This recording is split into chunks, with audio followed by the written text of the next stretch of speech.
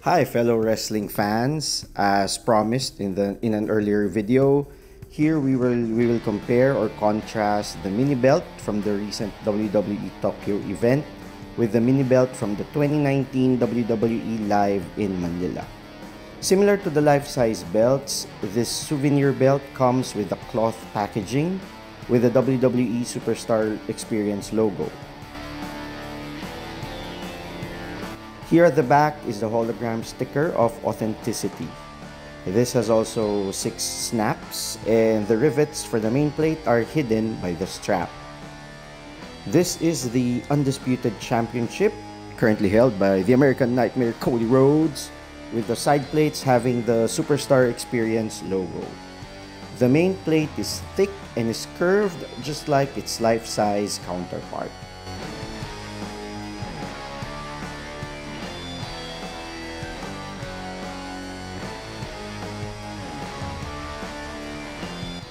For the 2019 belt, it comes with this elegant box with slipcase.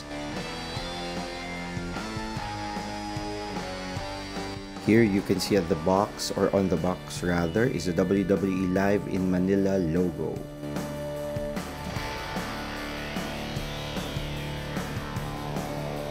Inside, this is the world the WWE Heavyweight Championship or World Heavyweight Championship with the WWE Network logo compared to the scratch logo from before. And for the side plates, it's clearly indicated the venue for the event, WWE Live Manila, compared to the Undisputed Championship with the WWE Superstar Experience logo. So both belts have gold tips and then also for this belt, it has the hologram sticker. Comparing the two in terms of size, the Undisputed Championship is bigger. Okay, because even if the main plates are the same size, okay, the Undisputed Championship is bigger because of the size of the strap. So you can see here, the main plates are the same size, but it's the strap for the Undisputed Championship that's bigger than for the 2019 belt. Both main plates are curved similar to their life-size counterparts. So both belts are thick in terms of the main plates and both are curved.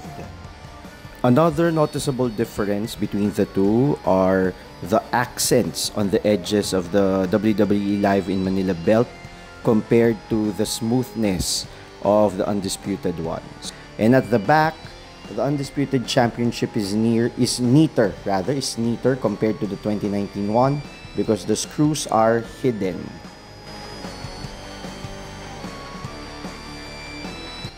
So that's it for this comparison video. Till the next one and thank you for watching.